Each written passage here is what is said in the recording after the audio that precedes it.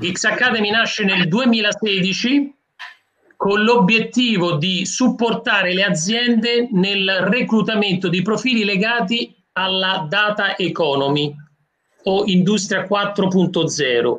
Qui vedete in maniera chiara un po' lo stato dell'arte del nostro network oggi, quindi la presenza in cinque città italiane e eh, numero di docenti chiaramente. Eh, notate anche dei nomi fuori dall'Italia che sono Lugano, Singapore e Seul. Eh, queste sono città dove noi siamo stati e abbiamo avviato delle collaborazioni. Poi qui è il, chiaramente il patrimonio della Geeks Academy che sono chiaramente i nostri docenti di cui oggi Alessio eh, li rappresenta. Ecco qui, in maniera veloce, l'offerta formativa della Geeks Academy strutturata in moduli, quindi si va da chi vuole mettere un piede all'interno della, della data economy con quello che chiamiamo starter pack, un modulo, un percorso di 120 ore per cominciare ad avere un'idea di quella che è la data economy, per poi a salire a 240 per coloro che lavorano e che quindi vogliono dare una spinta alla propria carriera all'interno della propria azienda o altrimenti per chi vuole fare una scelta strategica. Il Big Data Junior Professional, per esempio. Il Junior Professional è il format da 360 ore che prevede la formazione aziendale. E poi abbiamo creato nell'ultimo anno il format, il Mastery Program, 480 ore, quella che noi chiamiamo il percorso multispecializzazione per l'eccellenza digitale. Bene, eh, i percorsi che voi vedete sono a beneficio anche di coloro che partono da zero. Questa è la mission della Geeks Academy fin dall'inizio. Avviare alle nuove professioni chiunque abbia passione e motivazione, senza riguardo a titoli accademici o alla formazione pregressa Importante da quest'anno raddoppiamo le lingue di erogazione. Oltre all'italiano avremo anche l'inglese, quindi già stiamo raccogliendo le iscrizioni per il corso di ethical hacking in lingua inglese che faremo quest'estate, coronavirus permettendo, perché sarà chiaramente un percorso residenziale e eh, chiaramente lanceremo anche il corso di data science e intelligenza artificiale con Python in lingua inglese. Allora, lingua inglese e quindi ci abbiamo verso la conclusione. Un'altra bellissima notizia che ci teniamo a condividere con chi ci segue. Siamo dal 2019 sede di erogazione e di esame della EXIN, ente di certificazione internazionale molto conosciuto all'interno dell'Unione Europea, nei paesi anglosassoni e in Asia, dove ci stiamo espandendo. E quindi forniamo tutta una serie di certificazioni chiaramente legate agli ambiti che noi presidiamo, che sono cyber security, big data,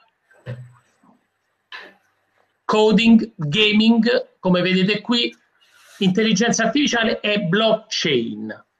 Bene, io credo di aver esaurito i miei quattro minuti che normalmente mi prendo per introdurre la Geeks Academy. Per chi è curioso e vuole avere testimonianze di ex studenti è sufficiente collegarsi al nostro account YouTube dove ci sono diverse testimonianze e interviste ai nostri ex studenti e poi chiaramente molto importante l'alumni. L'alumni è chiaramente la struttura che raccoglie gli ex studenti eh, che hanno terminato i percorsi di studio alla Geeks Academy. Ci piace chiaramente poi pubblicizzare e comunicare le collaborazioni internazionali. Siamo stati tre mesi in Corea del Sud eh, lo scorso anno e qui abbiamo avviato delle collaborazioni, prima fra tutto una, un accordo di partnership con il Korea Blockchain Institute. Per chi poi vorrà avere più informazioni siamo a disposizione anche dopo per le domande. Benissimo, allora io ho completato la mia introduzione, Alessio, lascio la parola a te, quindi è sufficiente che insomma eh, clicchi sul condivisione che avevi fatto prima. Perfetto.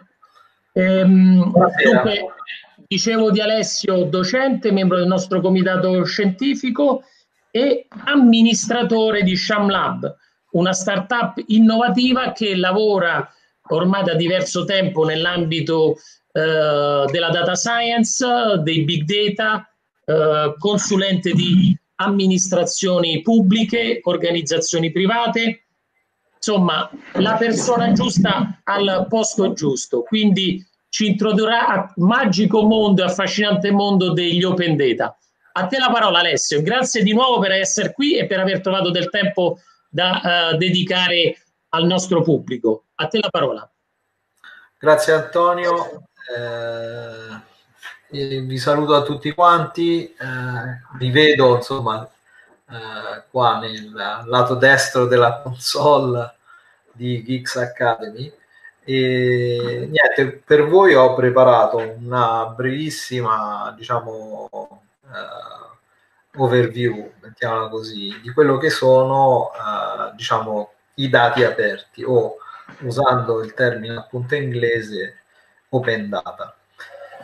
E eh, diciamo quindi staremo assieme questi 40-45 minuti eh, e il, diciamo, oltre all'introduzione che ha fatto Antonio, diciamo, vi darò una breve sintesi di quello che sono gli open data, perché sono importanti, qual è lo scenario in sostanza internazionale, europeo e anche italiano sul tema dei dati aperti degli open data e più in generale del mondo, diciamo, della data economy, mettiamolo così, eh, quali sono i, alcuni dei principali strumenti per uh, utilizzare, fruire, cercare, pro, diciamo, produrre, eh, diciamo, se ci mettiamo nei panni delle amministrazioni o di chi condivide informazioni, ma anche per trovarli quando servono e per poterli riutilizzare. Allora, siamo in tema di, eh, diciamo, come dire, piena uh, pandemia, no? E proprio per raccontarvi un po' la storia di quello che, che sono, diciamo, gli open data, parto da, uh, se voi notate, diciamo, questa è una screenshot fatta oggi, quindi, diciamo, nel The Wall Street Journal Uh, troviamo un, un'immagine che pubblicizza diciamo, eh, un reportage continuo che il Wall Street Journal fa sul Covid. No?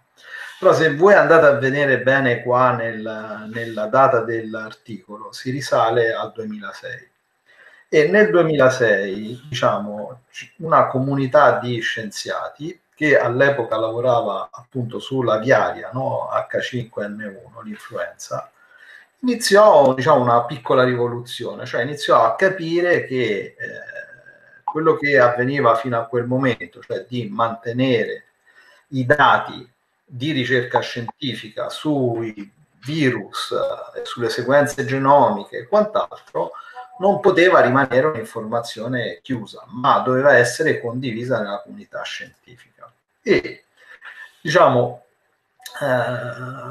uno dei primi, eh, anzi diciamo, la prima perché si parla di una ragazza, di una donna all'epoca, una veterinaria, che ha eh, diciamo un po' forzato questo meccanismo, è stata Ilaria Capua, che avrete avuto modo di vedere anche in televisione in questi giorni e che adesso lavora in un centro di ricerca negli Stati Uniti, ma che sostanzialmente di lì a poco, cioè se vedete questo è l'articolo è del 13 marzo, il 15 marzo eh, decise di, del tutto, diciamo in modo sorprendente un po' per tutti, di prendere la sequenza genomica della viaria e di depositarla in un server pubblico uh, GenBank che si chiama e a questo punto diciamo rendere di dominio pubblico questo, questa attività. Cosa ripeto del tutto inaspettata quindi se vogliamo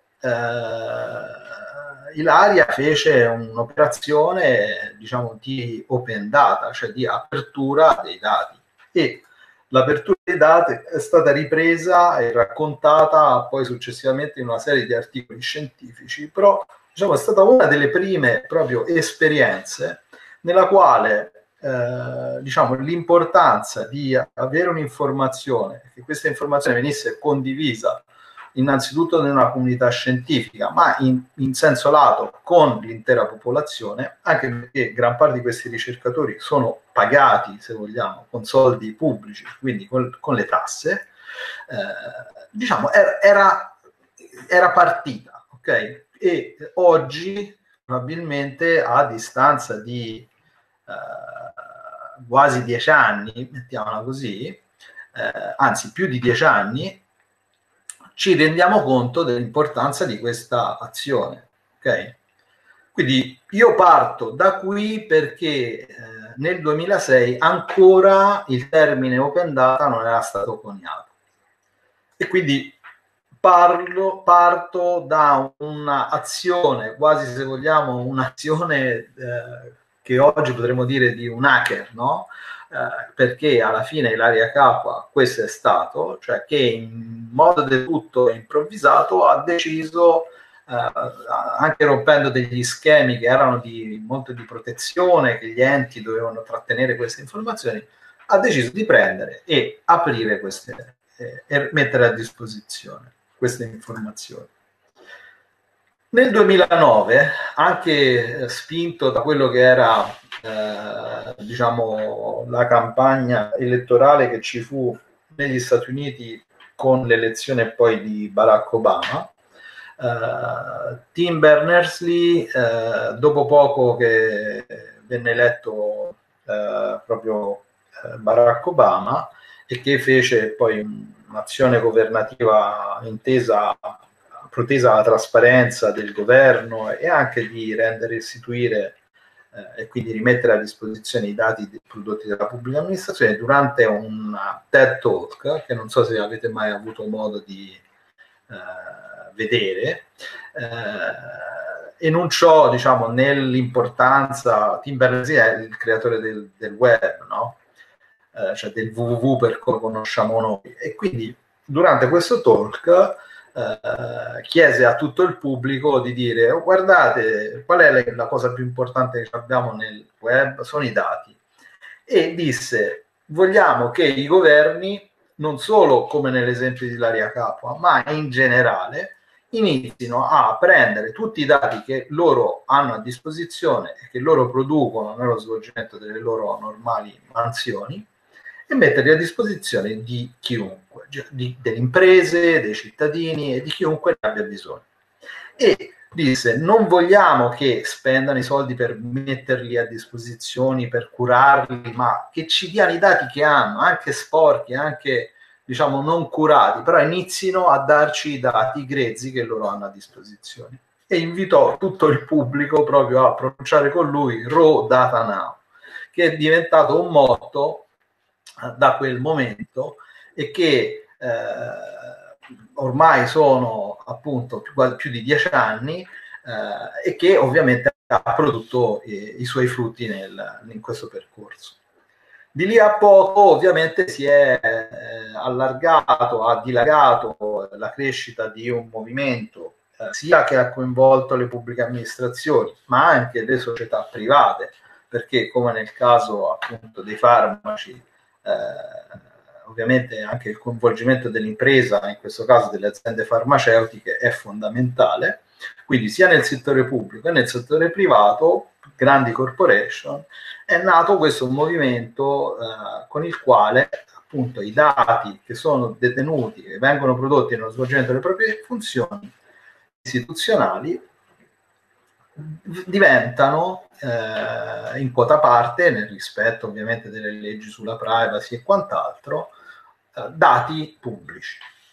E eh, di lì a poco, cioè nel 2013, eh, McKinsey, che è un analista indipendente, eh, una firma insomma americana molto importante che analizza appunto eh, gran parte del, di quello che è il mercato sia della pubblica amministrazione che del settore privato e eh, lo fa diciamo in, in, modo molto acuto, quasi anche a predire quello che eh, succederà poi nei, nei, tempi a venire. nel 2013, proprio in vista questo, della crescita che c'era attorno al movimento degli open data, fece una stima che eh, il mercato dell'open data poteva diciamo, aiutare eh, diciamo, a sviluppare qualcosa come 3 trilioni ogni anno no, di, di eh, affari, che 3 trilioni eh, cioè, equivalgono a 3 miliardi di miliardi, quindi una quantità diciamo, di denaro e un'economia estremamente eh, fiorente. Ovviamente, diciamo, eh, dopo dieci anni circa da questa, come dire, eh, questo uh, picco di, di, di ottimismo eh, si è rivelato che non è stato poi esattamente così, però c'è stato un forte sviluppo. Nel 2015 anche nella comunità europea, uh, diciamo, vi riporto alcune frasi importanti che sono state enunciate, ad esempio dall'ex vicepresidente del Digital Single Market europeo, eh, che era convinto appunto che una delle azioni fondamentali per la nostra comunità dovesse essere appunto quello di creare un unico mercato digitale a livello europeo, quindi non solo un unico mercato e un unico eh, diciamo sistema eh, aperto per le persone e per le aziende e quindi per le economie, ma anche iniziare a condividere tra i paesi le informazioni che sono disponibili, quindi eh, conoscenza, quindi reciproca eh, assistenza nella condivisione delle informazioni, delle buone pratiche e quant'altro. E quindi enunciò appunto questa frase. Quindi di fatto i dati e la conoscenza che se ne trae dall'analisi e dal, diciamo, eh, se vogliamo,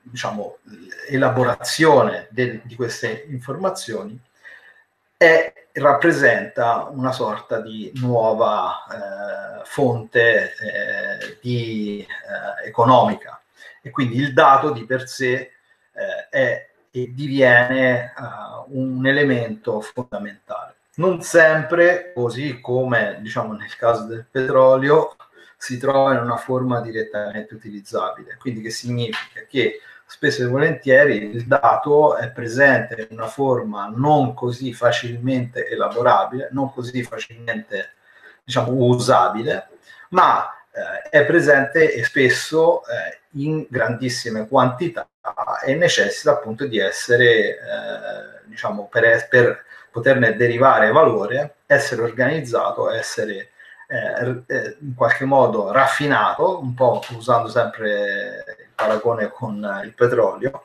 per poter poi creare dei servizi o per costruire appunto dei prodotti basati su questi dati di tipo commerciale e poter essere eh, rivenduto.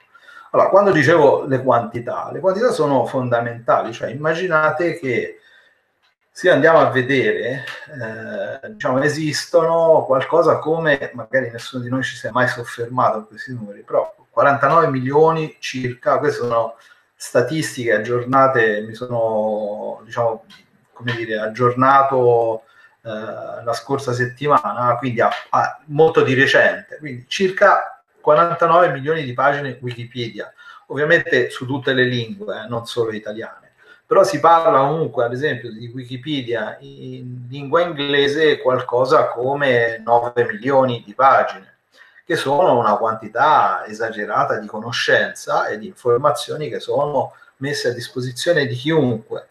Quindi non sono proprio open data, però sono cosiddetti dati pubblicamente accessibili, quindi dati pubblicamente conoscibili, se volete. Quindi sono a disposizione di chiunque, no? E ovviamente gran parte di questi contenuti, oltre ad essere consultabili da persone, quindi da me che leggo la pagina di Wikipedia, in parte alcune di queste informazioni possono essere anche processate automaticamente. Cioè, ad esempio, io posso scrivere un software che eh, scansiona Wikipedia alla ricerca, facendo delle ricerche e analizza i testi che sono stati inseriti lì dentro Quindi io posso in qualche modo creare degli automatismi, ma magari anche utilizzando dell'intelligenza artificiale che è in grado di eh, comprendere alcune componenti che sono presenti nel testo, alcuni significati che sono rappresentati nei testi che, che sono presenti su Wikipedia e su questa base riarrangiare le informazioni. Ad esempio, non è scritto qua, ma esiste un progetto parallelo a Wikipedia che si chiama Wikidata, dove gran parte delle informazioni presenti su Wikipedia sono state strutturate invece in una forma appunto di dato, quindi dati oggettivi e quindi che ne so, se andiamo a vedere su Wikipedia abbiamo una pagina più o meno per ogni comune italiano, per esempio, e su Wikidata, oltre a esserci presente il corrispettivo pagina che contiene, ad esempio, il nome e la geometria di quel comune, cioè dei confini amministrativi, contiene anche informazioni di tipo statistico, tipo quanti sono la popolazione, gli abitanti, i residenti, quanti sono maschi, quanti sono femmine, eccetera, eccetera. Quindi non è più soltanto più un qualcosa cosiddetto human readable, cioè che lo leggono le persone, ma diventa machine readable, cioè diventa un dato che, ripeto, eh, un programma, un software può iniziare a elaborare e farci le, sue, le proprie considerazioni. E diciamo come Wikipedia, uh, io qui ho riportato una serie no, di elementi, però immaginate che abbiamo qualcosa come 440 milioni circa di blog indipendenti tenuti da privati e che anche questi sono un pozzo di conoscenza, cioè sono un pozzo di materiale o cosiddetto user generated content, cioè di contenuti generati dagli utenti a nostra disposizione sulla quale noi possiamo fare le nostre analisi e ripeto, sia manuali che automatizzate. Ma la stessa cosa, ad esempio, lo possono fare le compagnie telefoniche grazie a quello che noi trasmettiamo attraverso i nostri telefonini e parliamo di una quantità estremamente alta. Anche questa è fonte di conoscenza. Cioè, ad esempio, il telefonino attraverso le celle può dare eh, in modo molto diciamo elementare, quasi diciamo dan- dandolo per scontato e nel completo rispetto anche di quello che è la privacy, però può dare e può disporre, ad esempio, sia per le pubbliche amministrazioni, ma per le stesse compagnie telefoniche, anche di dinamiche sociali che avvengono, ad esempio, per computare, che ne so, i flussi di eh, le famose origini matrice e destinazione dei trasporti, dei movimenti che avvengono durante l'arco delle 24 ore. E quindi senza sapere che quello è il telefonino di Alessio o di Ludovica o Francesco o Fabio o Stefano o Maurizio o chiunque di voi, diciamo la compagnia telefonica, dimenticando chi c'è dietro all'uso di quel telefono, può fare delle analisi e questi numeri, questo tipo di analisi ovviamente eh, ne beneficiamo tutti perché sono informazioni che ci consentono di capire, ad esempio, se indirizzare risorse eh, per potenziare e migliorare il traffico nell'Aurelia anziché nella Casilina, ecco, tanto per, per dirne uno. Altrimenti non avremo strumenti o avremo degli strumenti sicuramente senz'altro meno puntuali, meno precisi, me, più rudimentali per fare questo genere di analisi. Qui quindi continuo con uh, gli elementi, quindi email scambiate ogni giorno, eh, qualcosa come eh, in Italia adesso le amministrazioni condividono qualcosa come 600 eh, e anzi molto più di 600 terabyte di dati a nostra disposizione. E qui potrei andare avanti. Ok, però voi vi chiederete, ok, d'accordo, bello tutto quello che ci dici, ma quali sono i dati? Cioè, come sono divisi queste informazioni? E quindi diciamo, io uso questa slide per uh, raccontare uh, sostanzialmente la differenza tra uh, le varie tipologie di dati che bene o male sono presenti nel panorama. Quindi ovviamente tutti i dati sono tutti, no? tutti i dati disponibili. Poi abbiamo una certa quantità di dati, i cosiddetti big data, che sono, diciamo, per farla molto semplice, però tutti quelli che in sostanza non possono essere elaborati nel proprio computer, no? E che necessitano di un'infrastruttura che è fatta da più computer, quindi su cloud o comunque da cluster, no? da un'infrastruttura che prevede sia una questione proprio di storia, cioè di quantità di dati, sia per una questione di complessità e quindi di capacità di calcolo, prevede un'infrastruttura che non è quella tradizionale. Ecco, mettiamola così. Dopodiché abbiamo un sottoinsieme tra tutti i dati, tra i big data, che sono dati pubblici. Cioè io per public data intendo tutti i dati che vengono in qualche modo resi accessibili, tipo gli esempi di prima. Quindi un public data è sicuramente una pagina di Wikipedia, ma anche una pagina o un video su YouTube. Ok? Cioè, questi sono quelli che io chiamo public data quelli che si chiamano public data.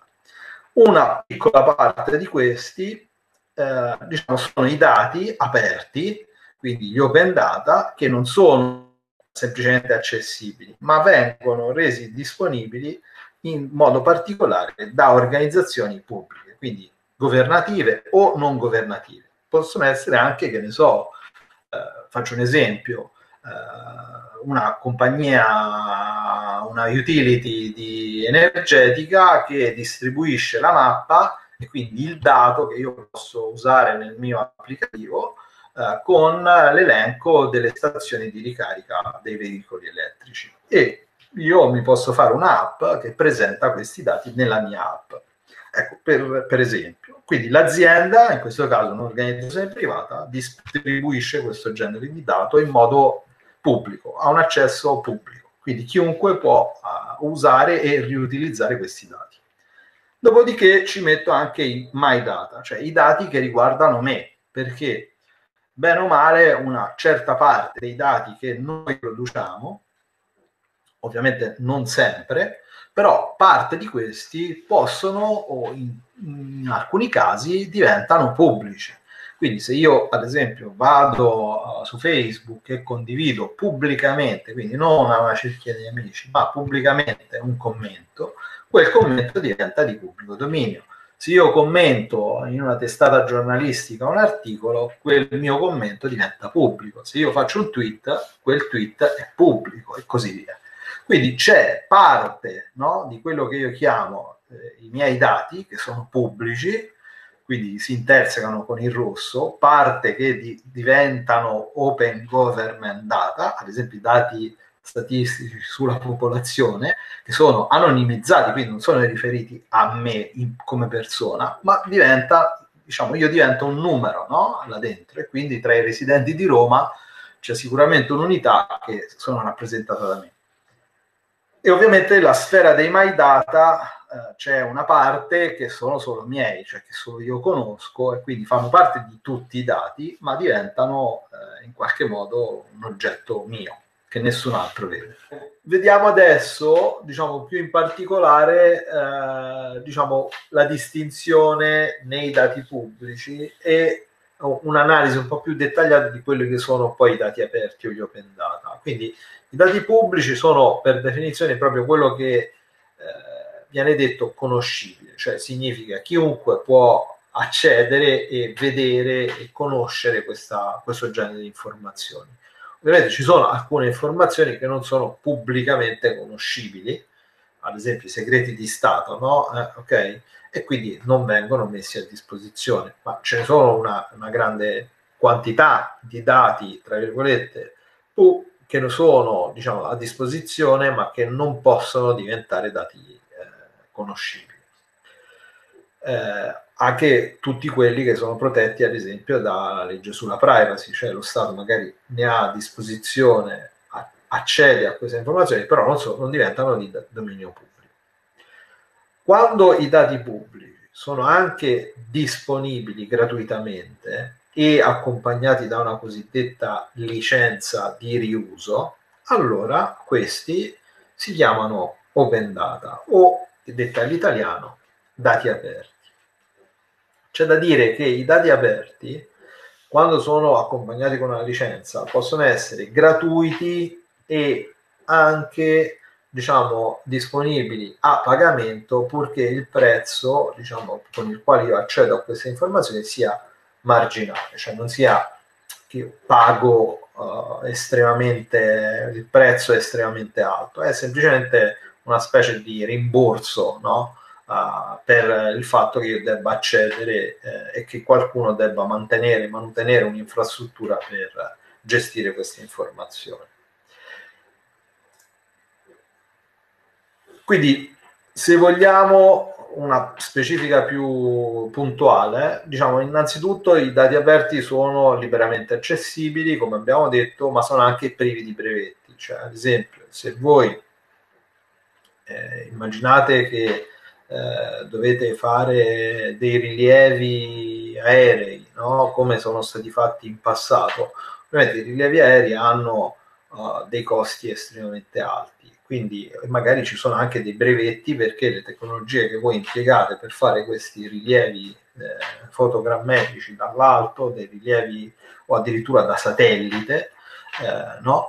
eh, i dati che vengono fuori ovviamente non è detto che diventino liberamente accessibili, magari sono consultabili, sono a disposizione dell'amministrazione o degli enti di ricerca, però ci sono delle condizioni sotto che ne limitano il loro riutilizzo. Bene, in tal caso non si parla di open data, cioè si parla magari di dati accessibili, di dati pubblici per un certo uh, serie di riutilizzatori, ma non pubblicamente, quindi generalmente accessibili.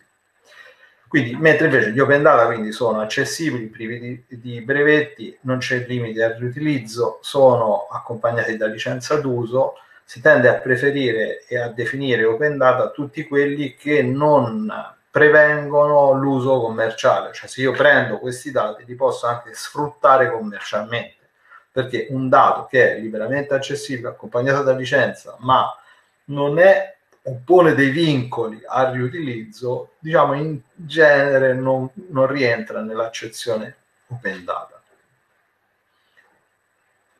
Bene, ci sono molte iniziative che sono nate, sia lato, diciamo, coloro che mettono a disposizione i dati, eh, sia di coloro che li riusano. E quello che vedremo adesso è una carrellata in sostanza di esempi.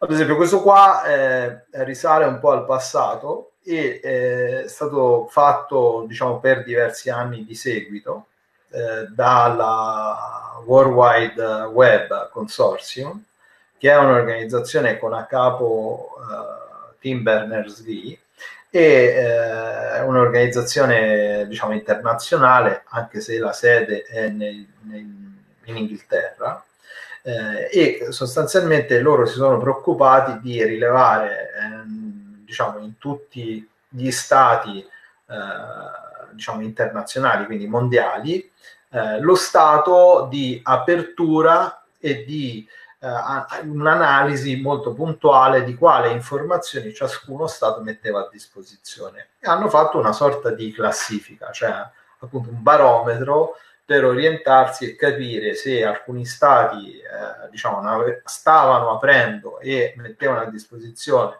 una certa quantità e anche una quantità di dati di impatto, cioè di alto valore, oppure meno, oppure magari alcune informazioni erano disponibili, altre meno e così via. Ora, quando io dico queste cose, cioè vi faccio per capire l'impatto, cioè vi dico, che ne so, i dati sulle elezioni, no?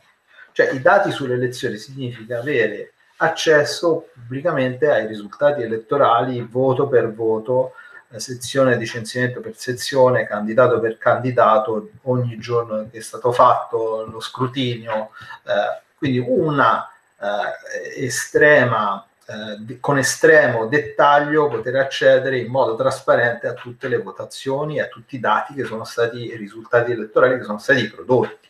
Okay? Ecco, tenete presente che questa informazione non è così, cioè per noi è data per scontato, no? però non è così scontata in qualunque posto del mondo. No? Ecco, quindi loro si sono preoccupati di eh, come dire, fare in modo che eh, queste informazioni di base, che per noi sono appunto, come dire, ormai cose date per scontato, diventassero tali anche nei paesi dove non lo sono. Ma faccio per altri esempi, no? che ne so, ad esempio nel mondo anglosassone, tipo in Inghilterra, negli Stati Uniti, eh, oppure anche in Scandinavia, ma anche eh, diciamo in Francia, gran parte dei dati che riguardano le società, quindi parlo delle compagnie, SRL, società anonime, SPA, eccetera, eccetera, sono pubblicamente accessibili. Cioè, significa che c'è un registro dove io entro, faccio una ricerca e ottengo i dati di quanto hanno fatturato, chi sono i gli amministratori, chi sono i soci, eccetera, eccetera. Io ho accesso libero e illimitato a questo genere di informazioni. Quindi non devo neanche pagare un centesimo. In Italia, che è dire un paese avanzato, eccetera, eccetera, queste informazioni sono disponibili, sono accessibili, ma bisogna pagare. Quindi eh, non è che non ci sono o che non sono accessibili, ci sono, ma devo pagare una cifra marginale per quello che è, però la devo pagare e eh, diciamo se mi serve ovviamente un, un accesso più eh, ampio, quindi che ne so, scrivere un programma che fa un'analisi automatizzata su questi dati, devo comprare magari degli abbonamenti che hanno dei costi un po' più eh, alti. Eh? Okay, quindi però un accesso generalizzato a questo genere di informazioni, machine readable, per esempio, in Italia non è disponibile, a meno che non, si, non possa o non voglia eh, appunto spendere un sacco di soldi.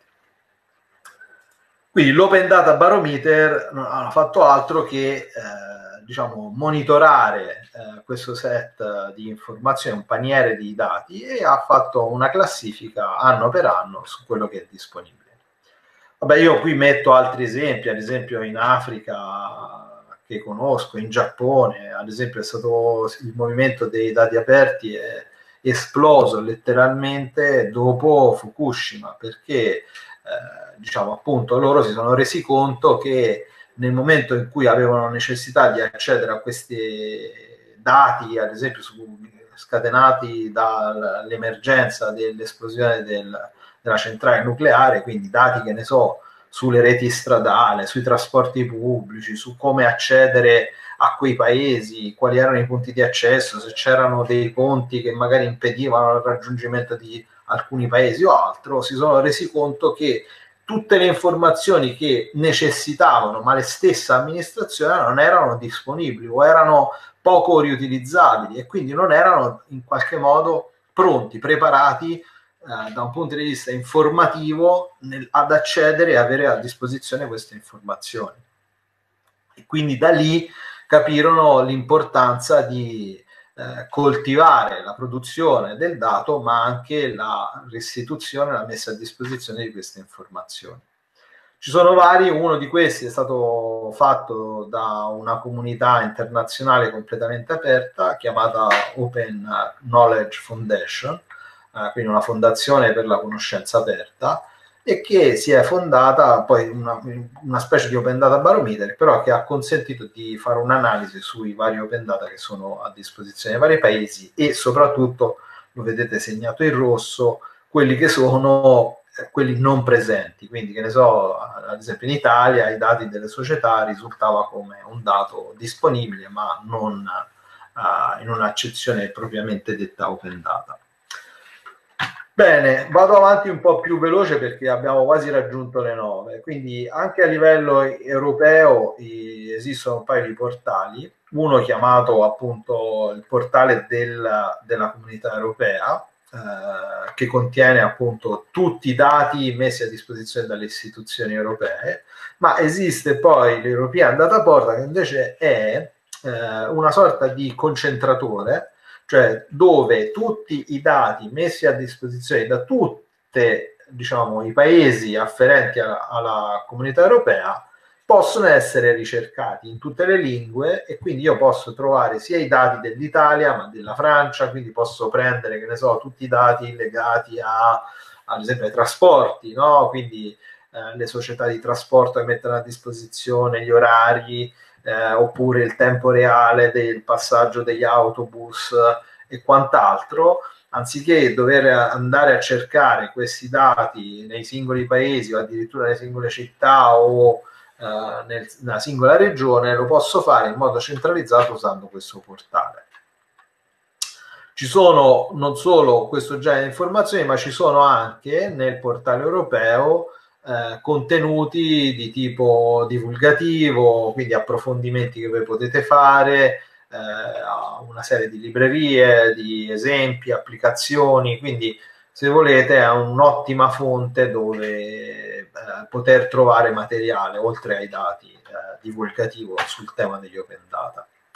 Eh, nella comunità europea ci sono anche eh, sono, diciamo, stati fatti ulteriori diciamo, report anche sul grado di maturità e quindi un'analisi un po' più puntuale, se volete, sullo sviluppo del, degli open data e anche sulla maturità che i vari paesi hanno nel tema più in generale, se vogliamo, del digitale. No? Eh, e è molto interessante perché presenta un quadro che si evolve dal 2016, quando, 2015, quando loro hanno iniziato col, prima, col primo portale, fino ad oggi. Quindi esiste un maturity report al 2019 e quindi abbiamo uno specchio di, che si è evoluto e possiamo da lì andare a fare eh, diverse analisi. In Italia esiste un portale che si chiama Dati.gov.it dove sono raccolti tutti i dati italiani e ci sono gran parte dei dataset prodotti dalle pubbliche amministrazioni, c'è un, un'ottima documentazione, anche in questo caso ci sono degli strumenti, c'è il paniere che definisce quali sono tutti i dati, divisi per le categorie, quindi sulla salute, sull'istruzione, sulla sicurezza e quant'altro, eh, e sono organizzati in questo portale quale, attraverso il quale potete fare delle ricerche e tirare fuori e cercare i dati che vi servono. In più, eh, diciamo, dopo che è stato eh, creato il piano triennale in Italia, eh, il piano triennale, eh, diciamo, eh, appunto sul digitale, se vogliamo, eh, è stato creato un team si chiama Team Digitale, appunto, eh, che oggi ha un suo, proprio un suo ministero eh, e hanno avviato una piattaforma big data chiamata portale eh, piattaforma eh, digitale di dati nazionale, nazionale dei dati, eh, il cui codice è eh, su GitHub disponibile all'indirizzo github.com slash Italia e lì trovate tutto il repository eh, e addirittura un forum aperto ai cittadini dove chiunque può partecipare, contribuire, fare domande, se ha eh, sia necessità di dati ma anche di, di eh, vuole a, affrontare problemi oppure è sta riutilizzando parte delle informazioni messe a disposizione e ovviamente ha domande o curiosità da, da, da, da chiedere. Ovviamente questo perché? Perché il movimento Open Data ha scaturito anche, eh, diciamo, e ha eh, in qualche modo indirizzato la necessità dei cittadini che si informano sempre di più anche di accedere no, a questi dati e quindi eh, ci sono degli infomediatori tipo giornalisti, ma anche associazioni che ovviamente fanno dei reportage, analizzano in modo più eh, profondo le informazioni e i dati che vengono messi a disposizione, ma le persone iniziano a capire no, come gira il mondo e quindi chiedono informazioni alle amministrazioni perché questi dati diventino di dominio pubblico. E ad esempio, que- questo è un caso reale sull'inquinamento del, per amianto, eh, ma adesso se voi non so avete seguito sulla PFAS su, nel Veneto è avvenuto un disastro, no? E quindi questi che producono queste sostanze impermeabilizzanti, ad esempio, eh, ci è voluto dieci anni, ma piano piano sono stati sono usciti sia dati eh, appunto su all'incidenza dei tumori, ma anche sulle aziende, sulle quantità, sulle analisi fisiche delle acque, le falde e quant'altro, sono diventati dati di accesso pubblico e ovviamente eh, sono stati, come dire, anche avviati dei procedimenti penali e quant'altro. Quindi, ma tutto a partire anche da non solo accedere alla notizia, cioè al fatto, ma anche ai dati che diventano eh, parlanti e oggettivanti di quello che avviene.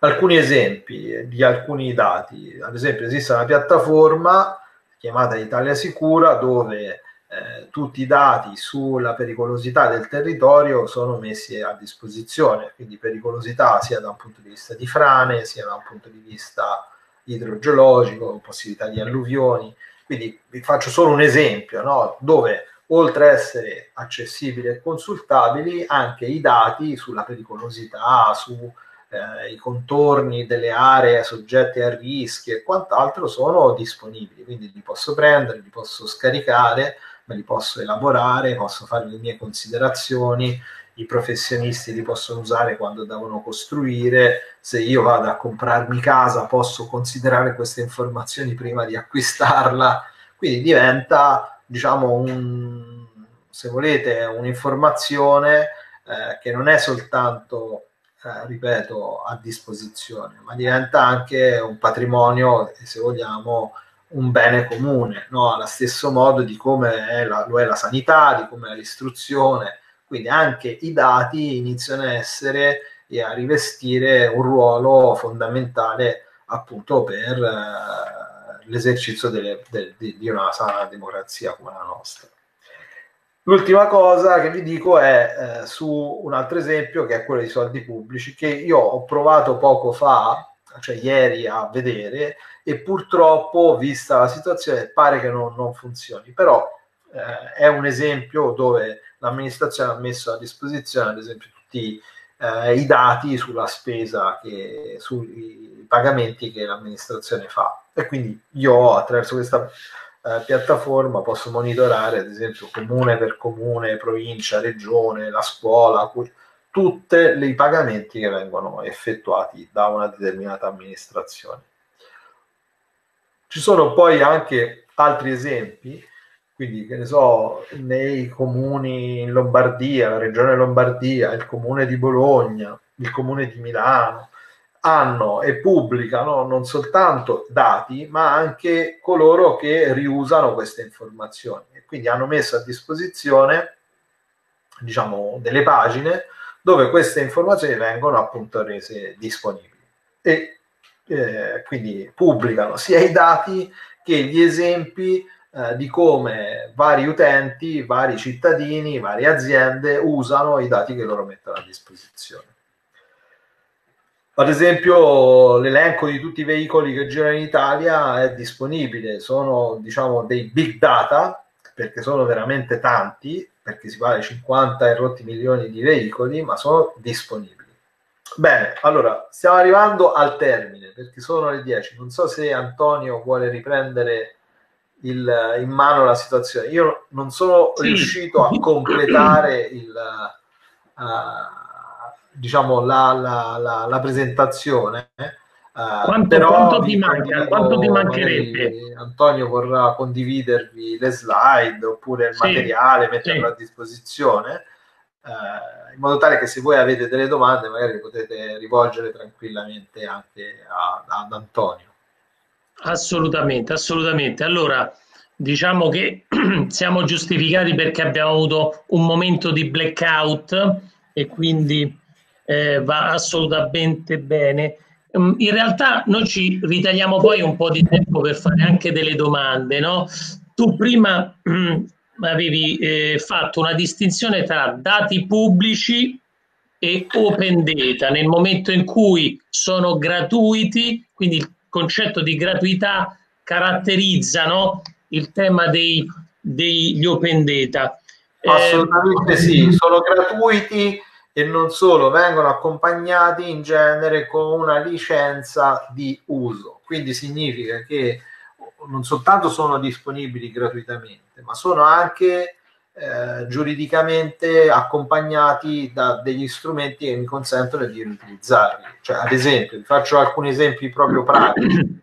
Cioè, non so se voi usate, vi è mai capitato di usare i mezzi pubblici. Usando i mezzi pubblici e dite del percorso da A, non a piedi, ma attraverso i mezzi pubblici, ad esempio su Google Map o un altro sistema di, di qualunque di uh, routing su mappa, bene, gran parte di questi sono non fatti, sono algoritmi fatti magari da chi ha appunto mette a disposizione il servizio, ma i dati ovviamente non sono dati, che ne so, nel caso di Google Map, di Google, ma sono dati che eh, nel caso vivete a Roma, ATAC o le altre aziende di trasporto, che ne so, Cotral se si parla della regione Lazio o Ferrovie, no? se si parla addirittura dell'Italia e così via, mettono a disposizione.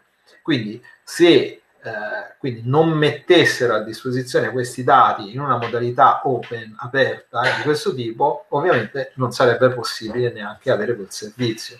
Tant'è che in molte aree dove non ci sono questi dati oppure non sono resi disponibili in modo aperto, il servizio non c'è. Okay? Certo, certo, certo. Guardi, io ne approfitterei del fatto che sei qui anche per come dire, commentare un po' un, un fatto di attualità, no? Si, è uscito adesso questo articolo di Wired che anticipa come il governo userà i big data nell'emergenza coronavirus. Sappiamo che c'è una certa difficoltà a contenere il contagio e quindi eh, si comincerà a sperimentare un po' il, il contact tracing. Eh, sappiamo che ci sono delle esperienze nell'uso dei big data per contenere il, il contagio che sono state fatte in Cina, ma poi addirittura in Corea del Sud, prima parlavamo della Corea del Sud, la Corea del Sud torna perché qui si è addirittura arrivati a rendere pubblici dati che riguardavano la geolocalizzazione, il fatto di essere un contagiato e di aver messo questi dati su un'app per cui chiunque poteva sapere se nelle vicinanze vi fosse una persona contagiata. Quindi oltre a essere controllati, venivano anche resi visibili ai privati, per poi arrivare invece a Singapore dove oltre a geolocalizzarli come faceva la Cina, oltre a metterli in un'app pubblica come ha fatto la Corea del Sud, a Singapore inviavano anche dei messaggi per cui chiedevano di farsi dei selfie per mostrare effettivamente dove ci si trovava. Allora, questo è quello che è successo nel mondo ad oggi nell'uso dei big data per il contenimento del contagio. In Italia vedremo nei prossimi giorni eh, cosa succederà, però in effetti il limite tra poi privacy, big data, uso del big data, giustificazione dell'uso del big data Ma, allora, è abbastanza largo. Sono vari esempi, però penso che quello più interessante sia l'uso appunto dei dati che le compagnie telefoniche hanno in qualche modo a disposizione e che può essere di grande aiuto per capire i flussi di movimenti su larga scala.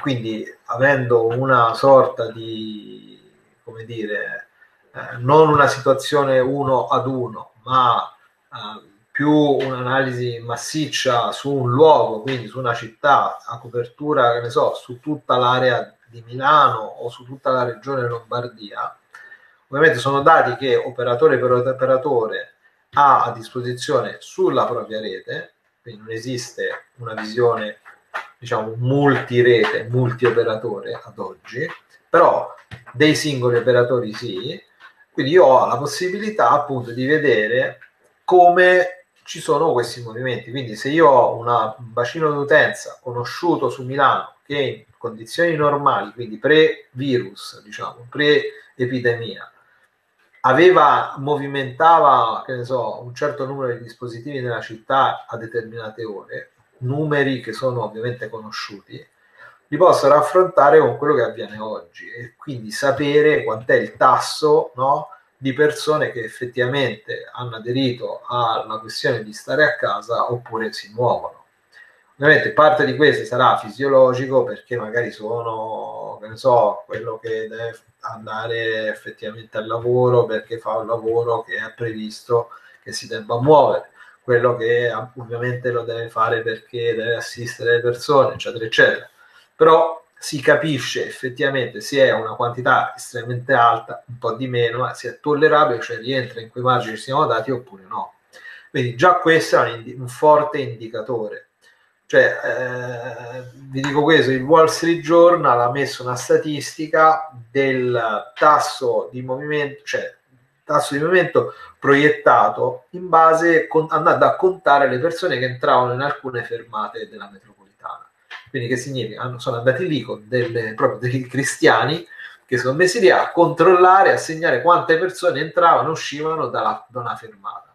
Avevano i dati in tempi cosiddetti di pace, li hanno confrontati con quello che succede oggi e hanno fatto delle stime no? per dire se le persone in qualche modo stanno effettivamente rispettando una quarantena oppure no.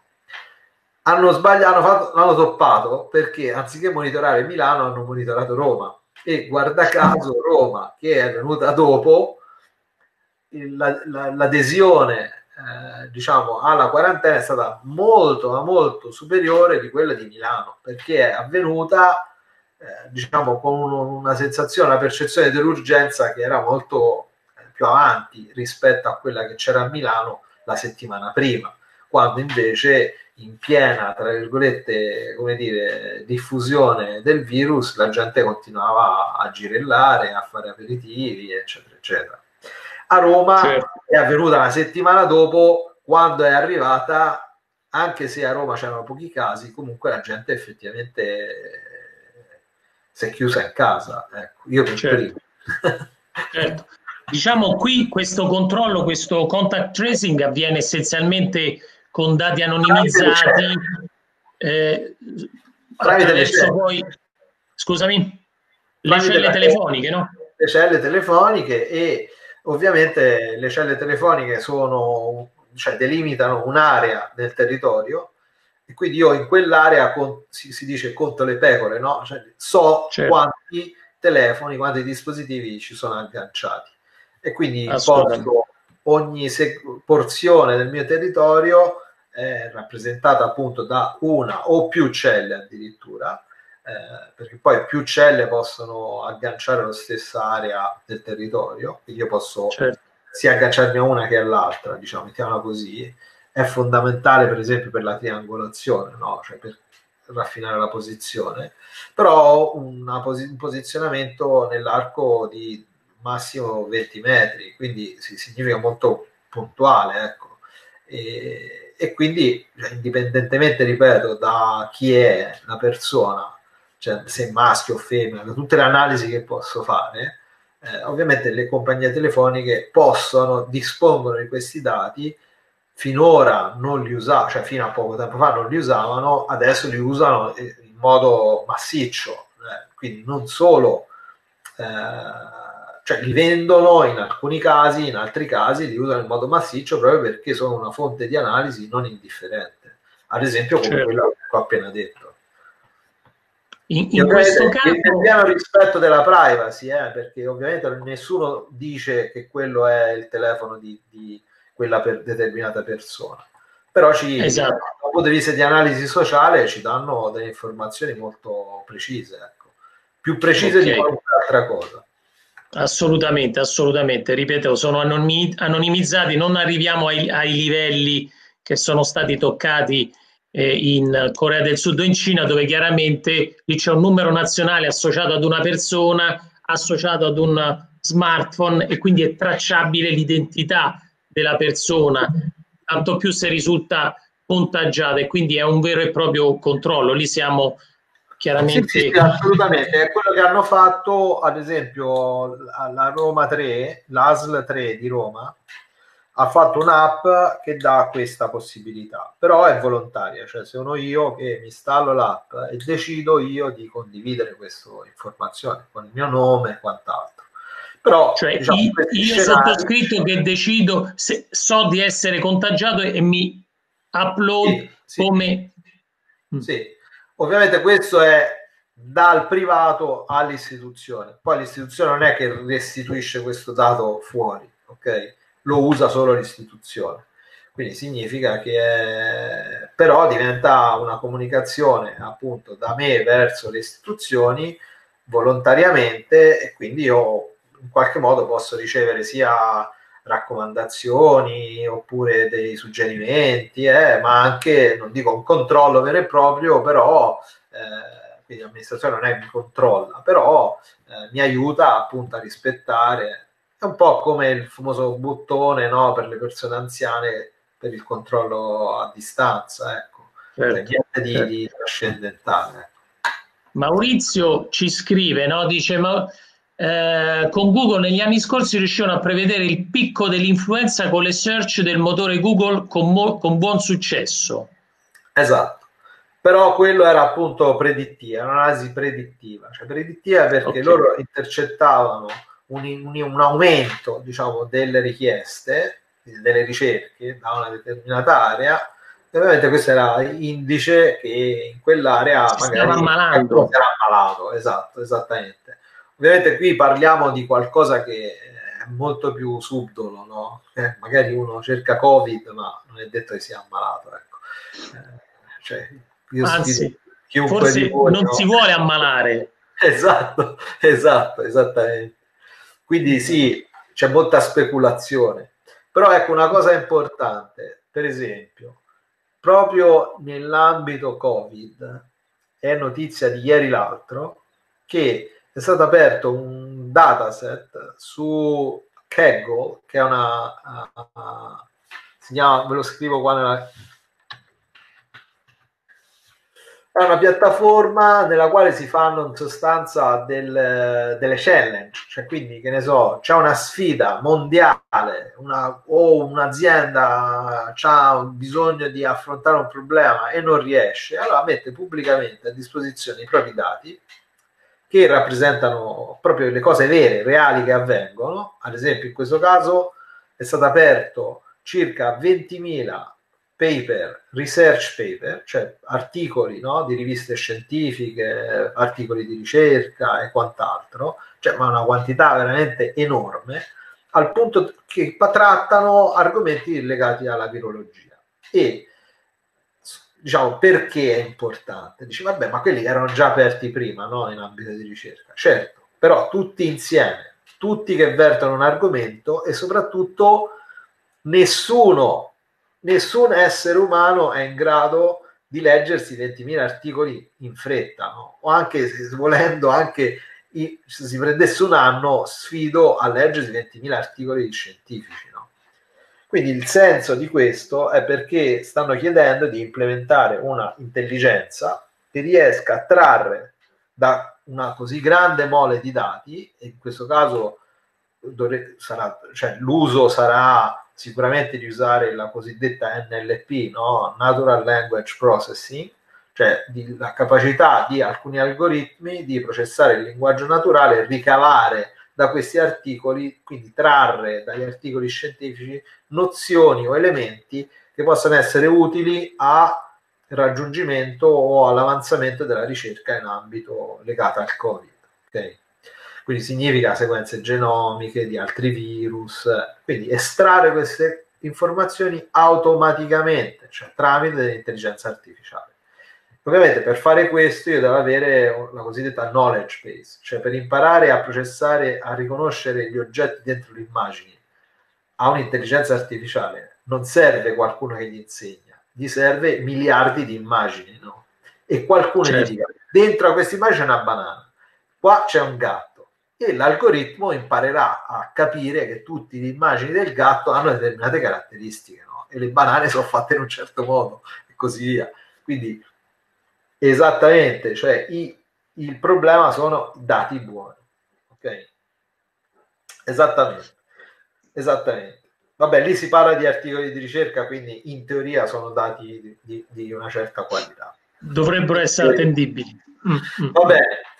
Bene, bene. Allora, io direi che se non ci sono altre domande da parte dei partecipanti, io vi segno eh, il link del prossimo evento del giovedì della settimana prossima. Si parlerà dell'universo MongoDB, quindi resteremo in tema di big data, quindi Mongo da humongous, quindi enorme, Quindi questi dati a un certo punto non li gestiremo con MySQL, con un database relazionale, ma con un strumento di gestione di dati, quindi non relazionali. Avremo Alessandro, nostro docente, che eh, ci introdurrà a questo strumento prodigioso.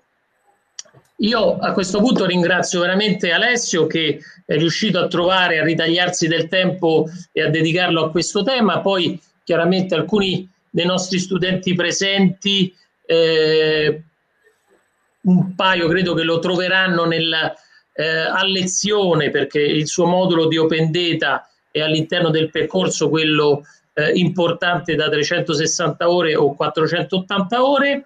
Eh, saluto chi è rimasto con noi fino a quest'ora. Vi invieremo eh, il link della registrazione della serata ripulito dei momenti di crash che abbiamo sperimentato questa sera. Io ho dato la colpa chiaramente al fatto che col coronavirus sono tutti collegati alla rete e quindi... Sinceramente non lo so. E quindi è sicuramente così. E, mh, va bene, di nuovo una buona nottata a tutti e ci vediamo il prossimo giovedì. Grazie di nuovo Alessio. Ciao. Ciao.